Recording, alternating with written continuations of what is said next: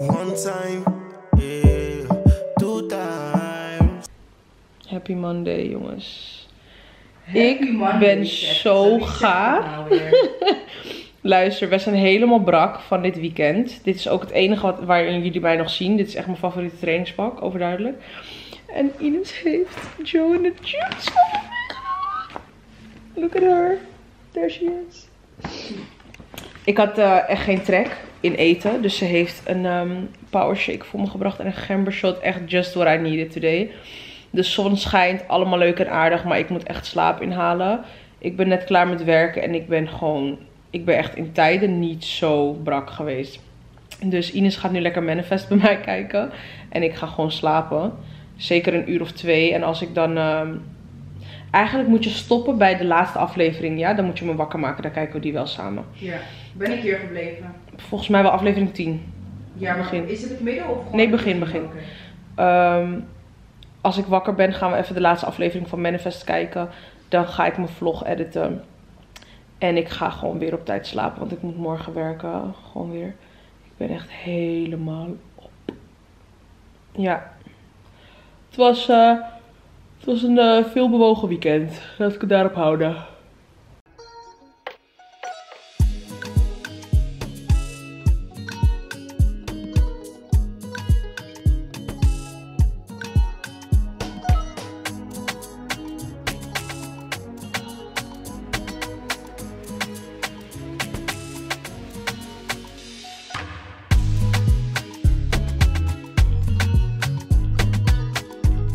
Goedenavond jongens. Ik eh, ben onderweg naar de Johan Cruijff Arena. Ehm, we spelen vanavond Champions League en ik ga in mijn eentje naar de wedstrijd. En het is echt chaos. Het is echt chaos. Ik film ook niet zo opzichtig, want ik voel me heel erg bekeken. Maar ehm, overal politiebusjes, overal vuurwerk, fans, niet normaal. Het is helemaal uitverkocht en eh, oh, ik vind het zo spannend. Ik heb er echt zin in.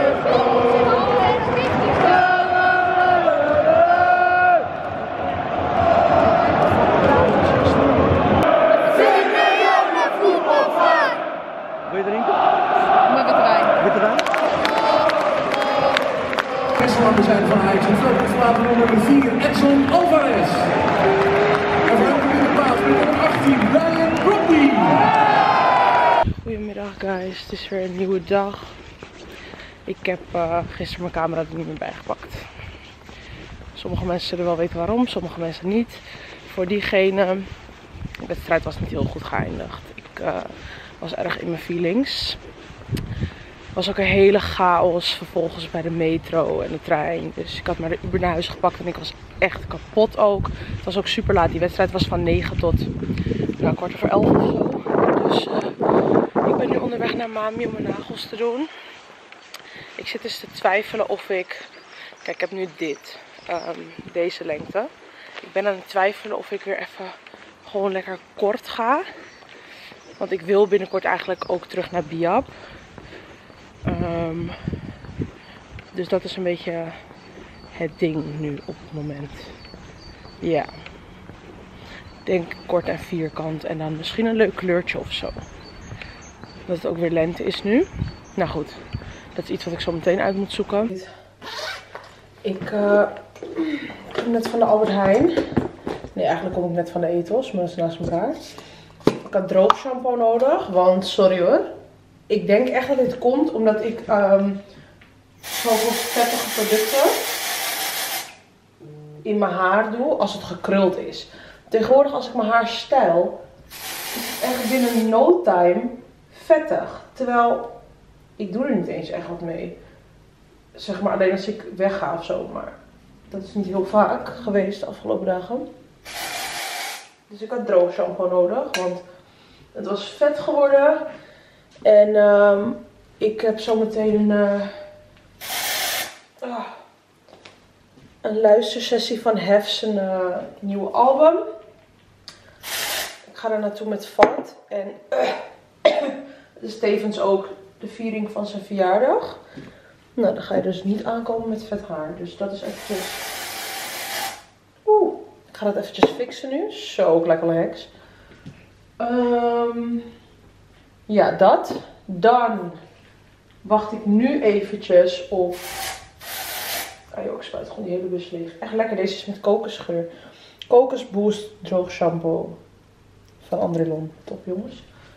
Ehm, ik wacht nu eventjes op Ines. Ik wacht nu eventjes op Ines. We gaan eventjes naar de zonnebank toe. Ik belde net met haar en toen had ze het over mijn nagels. Ze zei, ja, je nagels zijn echt zo mooi geworden. En toen keek ik naar mijn hand en dacht ik, ja, het is wel heel mooi, maar ik vind dat ik alweer een beetje bleekjes geworden ben. Dus toen zei ze, ja, ik wilde eigenlijk ook naar de zonnebank gaan. Ehm, dus dat gaan we nu eventjes snel doen. Zal ik nu die pet erop doen of niet? Is dat handig? Of is dat niet handig? Ik denk niet dat het heel veel uitmaakt eigenlijk. Laat me lekker even intrekken. Zo. Ja, leuk. Ehm, zo. Dat is prima. Ehm, dus eventjes naar de zonnebank toe.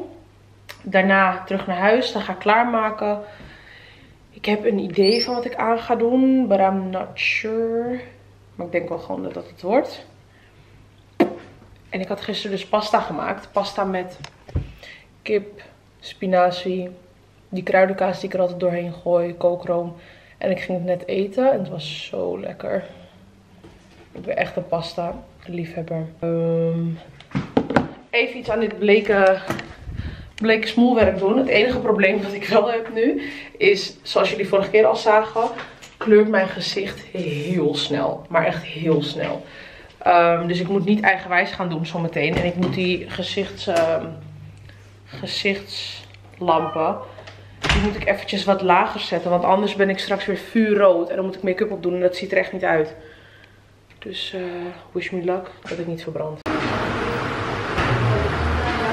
Oké guys, ben helemaal klaargemaakt.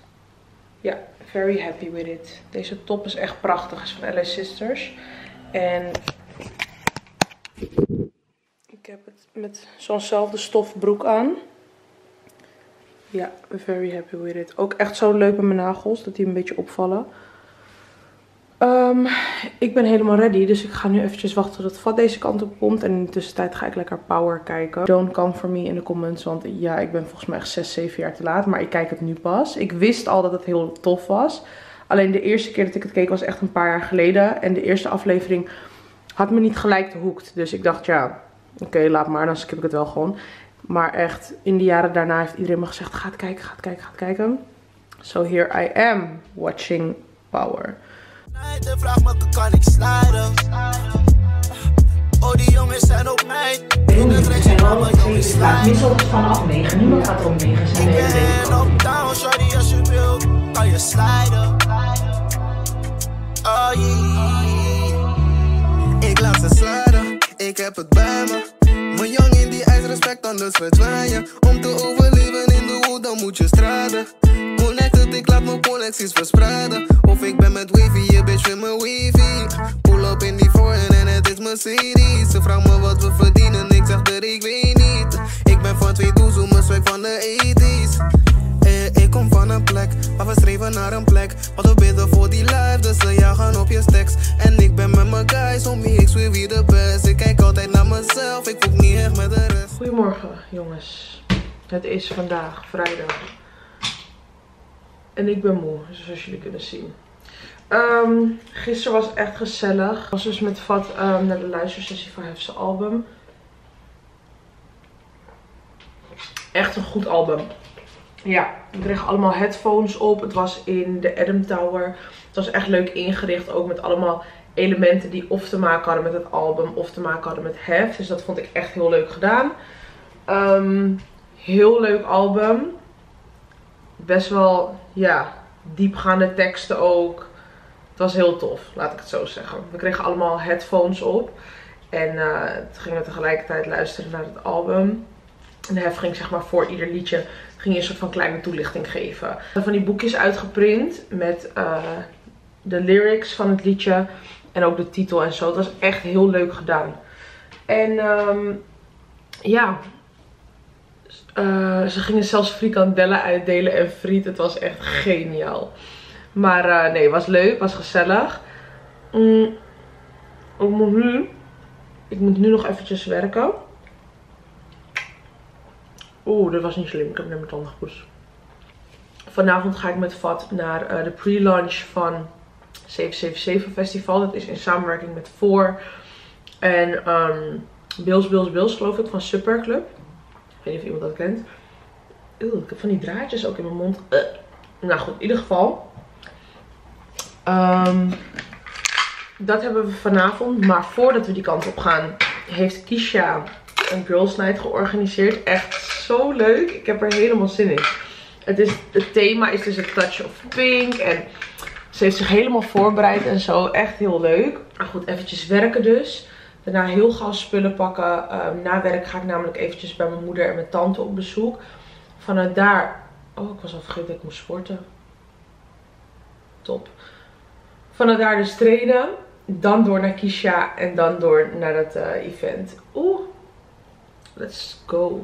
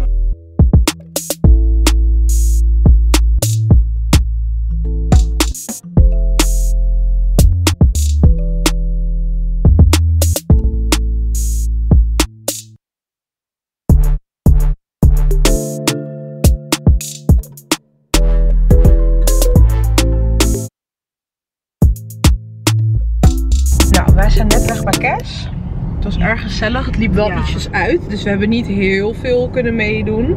Maar eh, we waren net spelletjes aan het doen. En nu zijn we onderweg naar Amsterdam. We gaan naar het Sieraad. Daar ben ik nog nooit geweest. Ja, ik ben daar voor bezichtiging geweest toen. Voor Oh ja, klopt, klopt. En wij hadden dus ehm, onze outfit al soort van gepland. We dachten we doen een jurkje aan met hakken. Hoorden we eindstand dat het echt way too much zou zijn. Casual chic. Juist. Dus eh, we hebben allebei iets van kiesje aangetrokken. En we hebben alsnog hakken eronder. Om Ja, maar nu hebben we nog wel iets casual hakken. En Klopt. jurkje is dan misschien gewoon... Dan zouden we echt zwaar buiten de boot vallen. Dus eh, ja, gezellig. Maar oh, goed. kut. Wat? Volgens mij ben ik vergeten. Oh. Ja, Ja, volgens dat mij heb wel. ik je niet zien pakken. Nee. Nee.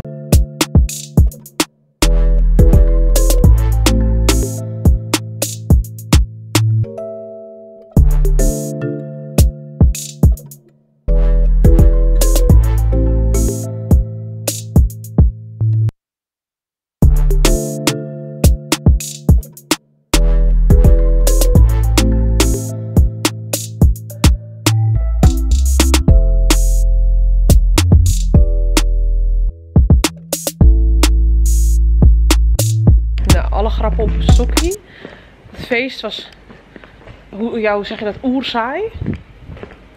Nee, sorry, dat feest was het niet. Het, wa- het was niet gezellig. Ehm, we probeerden een Uber te bestellen. Nee, Sila. Dit is echt niet meer leuk. Oké, Pat en ik lopen nu zeker al drie minuten op onze hakken. Langer, langer. Ja, denk het ook. We hadden een of andere snodder. We hadden een of andere snodder eh, voor de deur gevonden. En die wilde ons toen brengen. Echt heel aardig. Het was echt een ritje van twee minuten. Maar ja, op hak is dat gewoon heel ver en heel lang. En toen ging zijn auto stuk. Dus ze zeiden ja, het is echt nog één straat door en dan zijn jullie er. Maar onze voeten doen echt pijn. En het is echt heel erg koud. En nu lopen we weer te strompelen. En is die ingang van de garage dicht. Waar we dus uit zijn gekomen, zeg maar. Dus ik ben heel benieuwd of we nu via de andere kant wel naar binnen kunnen. En we hebben ook geen jas aan. Zielig. Anders loop ik wel, dan moet je gewoon wachten. Maar ja, je moet uiteindelijk toch die straat door, dus dat slaat nergens op. Het is teringkoud. Het is echt teringkoud. Ik ben mijn jas bij Kisha vergeten. Is wel voor blote voeten gaan, maar sta gebeurd. Zielig. Een hele goede morgen. Het is zaterdag. En Kisha en ik zijn onderweg om te gaan lunchen met onze tante, onze oma, onze moeder. Echt gezellig. We gaan in Purmerend eten. Het is hartstikke mooi weer. Ik ben iets te warm gekleed, denk ik. Maar ik heb geen jas bij me. Oh, mijn jas. Maar heb je nu nodig? Nee, Ik zie al morgen. Dus Ja, nee, laat maar. We hebben allebei ons haar gesteld en we hebben allebei nude aan. We're twins for real now. Nu gaan mensen het al helemaal zeggen.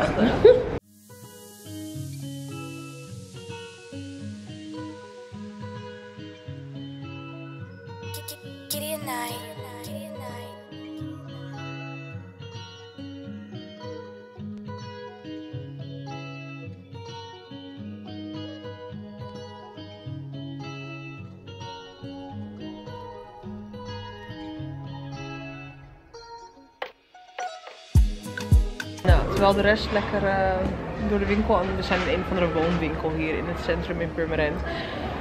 Ehm, we hebben super lekker gegeten. We aten bij Roost Purmerend en het is echt een beetje, het gaf mij een beetje Café in City vibes, maar dan het gaf mij dus een beetje Café in City vibes.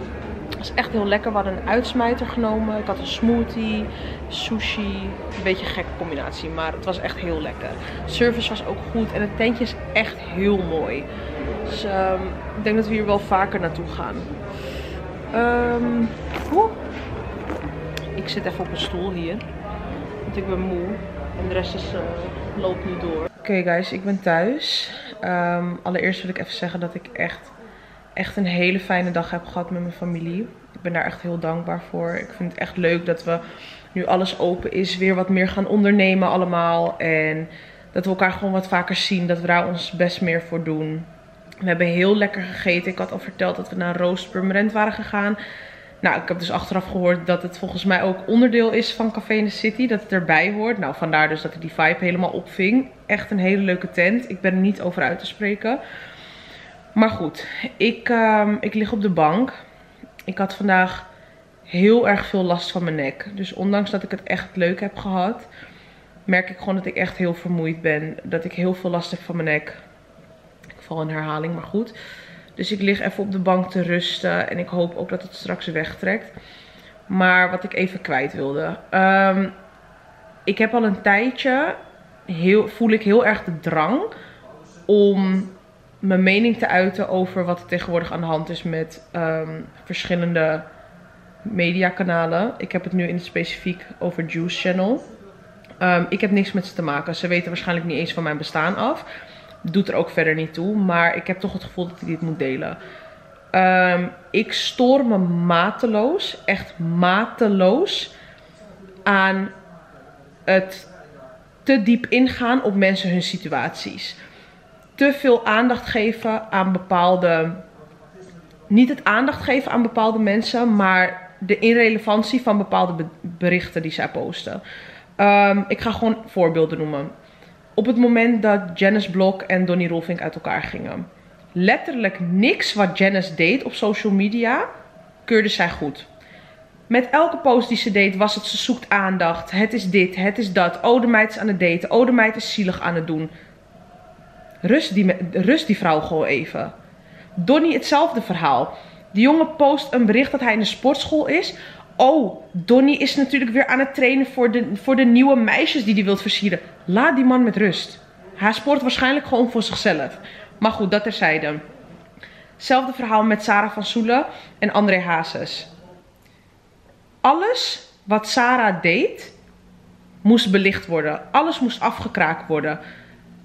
Op dit moment zijn de dingen die zij posten niet eens meer juicy. Ze zijn letterlijk gewoon mensen aan het pesten, mensen aan het afkraken. Je kan ook heel duidelijk zien dat er een bepaald patroon in zit. Dus op het moment dat zij zich irriteren, persoonlijk irriteren aan iemand, is alles wat diegene doet verkeerd. Alles moet gepost worden.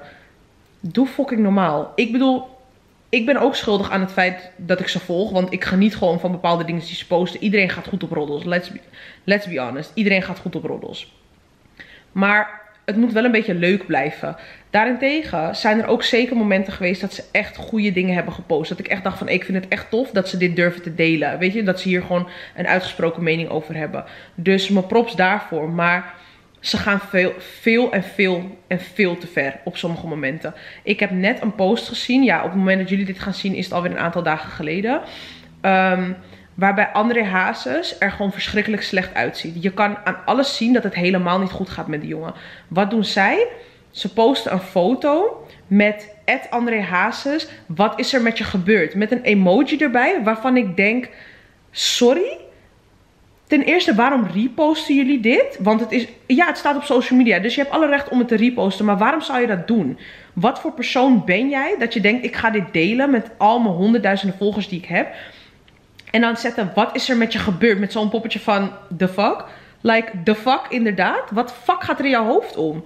Sorry, maar dit soort dingen maken me echt gewoon best wel pissig. Dit gaat, dit gaat echt diep bij mij. Want ik vind gewoon, je hebt geen respect meer voor mensen. Ik vind gewoon, je moet met je gezonde verstand kunnen nadenken. En gewoon, ik snap niet, ik, ik kan er gewoon even mijn pet niet bij. Ik ik heb er de woorden niet eens voor. Maar goed, in ieder geval, I broke the silence. Want ik was het gewoon zat. Ik heb het er vaker over gehad met mijn vriendinnen.